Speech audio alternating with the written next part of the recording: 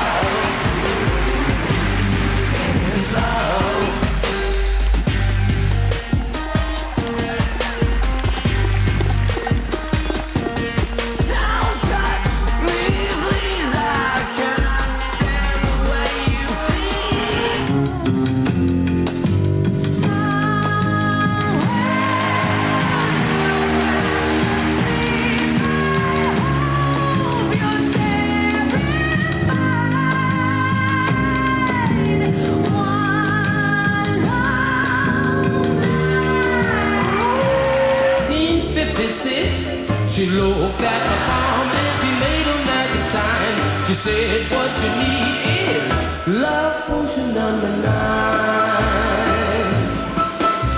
She bent down and turned around and gave me a wink. She said, I'm gonna mix it up right here in the sink. It smelled like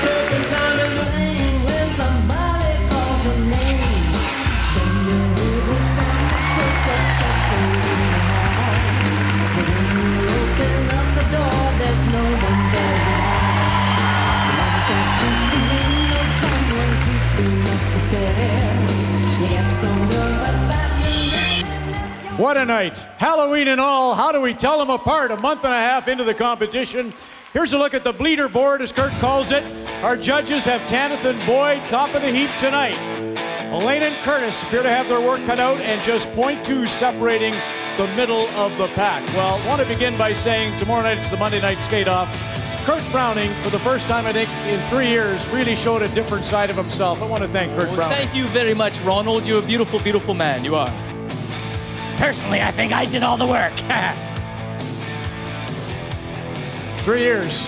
Go ahead. What's your uh, little plug? I, I, this is what I. This is my thing of the show. Hi, it's me and me. Um, I just want you to remember to vote. Five become four. It's up to you. It's the judges are devilish. They did what they want. But if you want to do what you want, pick it up, dial it, do it. Thank you, Katarina Witt. Don't forget, Kurt's right. We have to split. But there is the tweet hereafter. Maura Grierson online at cbc.ca slash battle. Four bands, one of them goes home. Cover Me Canada. Now.